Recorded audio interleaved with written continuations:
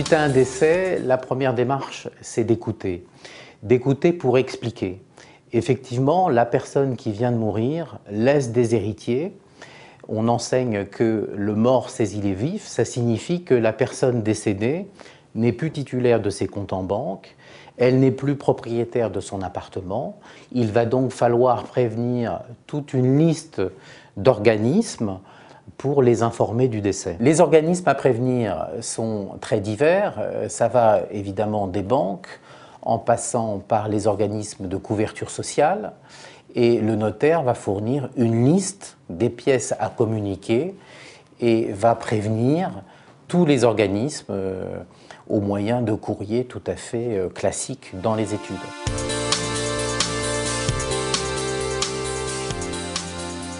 Le choix du notaire est libre. Les héritiers concernés, s'ils sont d'accord, vont aller voir un notaire, mais s'ils ne sont pas d'accord, chacun peut se faire conseiller. Simplement, la profession énonce des règles de priorité pour dire qui va dresser les actes. S'il y a un conjoint, ce sera le notaire du conjoint qui sera habilité pour le faire. S'il n'y a pas de conjoint et qu'il y a par exemple des héritiers désignés par testament, eh bien, ce sera le notaire de ce qu'on appelle le légataire universel, c'est-à-dire celui qui euh, sera validé par le tribunal pour être reconnu héritier de la personne décédée.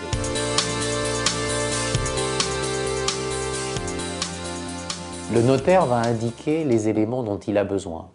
Ça commence par l'état civil des héritiers, de façon complète, s'il y a un doute, le notaire peut demander la comparution de témoins qui attestent qu'il n'y a pas d'autres héritiers que ceux qui sont connus. Ensuite, le notaire va demander tous les éléments de patrimoine, de quoi se compose la succession?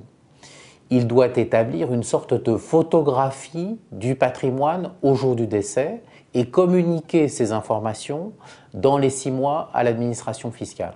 Par exemple, le notaire va demander l'acte de propriété des biens immobiliers et les relevés de compte en banque. Il va écrire aux organismes bancaires pour avoir une situation au jour du décès et c'est d'après cette information qu'il dressera la déclaration de succession qui sera fournie aux services fiscaux dans les six mois du décès.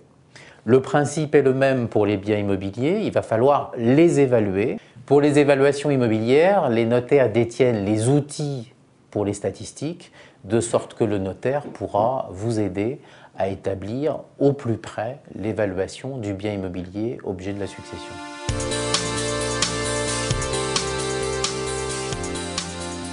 Les actes à établir par les notaires répondent à la chronologie que l'on a évoquée. La première question, c'est de dire qui hérite. Pour ça, le notaire va établir ce qu'on appelle un acte de notoriété qui pourra être présenté à tous les organismes et ainsi, dès la présentation de cet acte, par exemple, la banque pourra débloquer des comptes de façon à faire face aux dettes courantes. En même temps que l'établissement de l'acte de notoriété qui indique qui hérite, s'il y a un conjoint, on va dresser un acte d'option puisque le conjoint peut faire un choix soit en propriété, soit en usufruit, soit un mélange des deux sur la succession. Ensuite, il va s'agir de dresser des actes pour que les biens immobiliers soient immatriculés au nom des héritiers. Ça s'appelle l'acte d'attestation de propriété.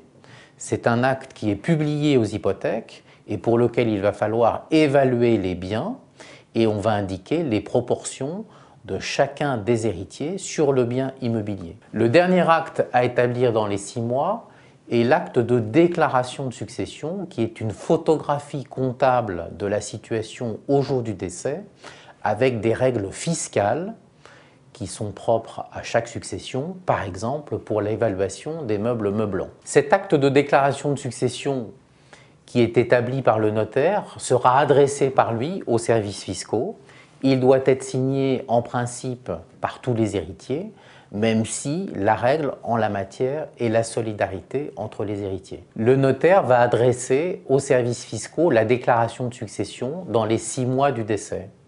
Simplement, il y a une dispense si le patrimoine fait moins de 50 000 euros et s'il n'y a pas de bien immobilier.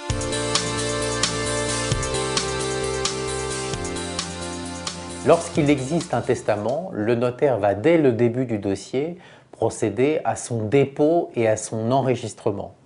Simplement, ce qu'il faut savoir, c'est que lorsque c'est un testament holographe, c'est-à-dire écrit, daté et signé de la main du testateur, et s'il n'existe pas d'héritier réservataire, c'est-à-dire un conjoint ou des enfants, ce testament devra être validé par le tribunal.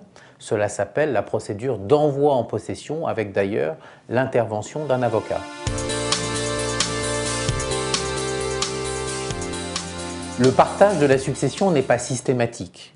Le partage, c'est l'attribution à chacun d'une cote-part de la succession. Il va falloir pour cela se mettre d'accord sur les évaluations et les attributions.